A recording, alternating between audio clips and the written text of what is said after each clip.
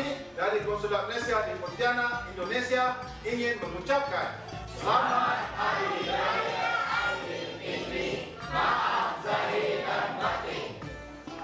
Kami pegawai perhubungan tentera Malaysia Sintang, Kalimantan Barat ingin mengucapkan Selamat Hari Raya Aidilfitri. Maaf zahir dan batin.